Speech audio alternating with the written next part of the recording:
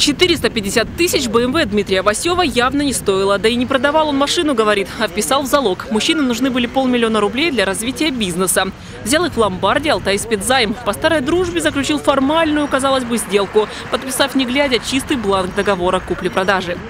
Была просрочка, я э, улетел в Москву, даже не улетел, а уехал в Москву на этом же автомобиле. И э, ну, не выходил на связь какое-то время. Они меня потеряли, получается, и подали на меня иск в гражданско-правовой.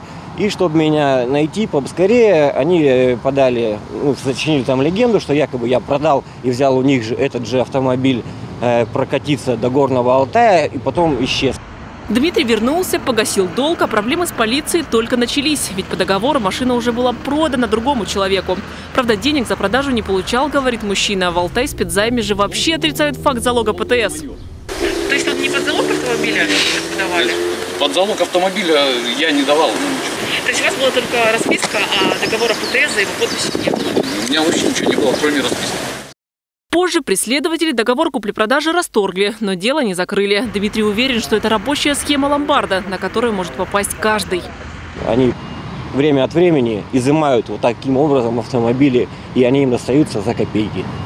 То, что контора нечиста, говорят и другие. В интернете на ломбард пишут гневные отзывы. Люди, ни в коем случае не берите здесь займ под документы и авто.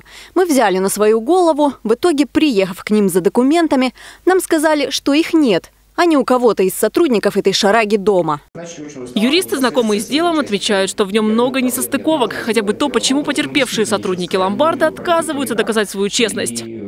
Сами потерпевшие отказываются проходить полиграф. Он прошел.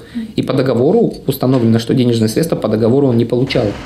Точку в этой детективной истории может поставить полиция, поясняют юристы. Мы, в свою очередь, написали запрос в ведомство, где просим уточнить, сколько людей попали в аналогичную беду в этом же ломбарде.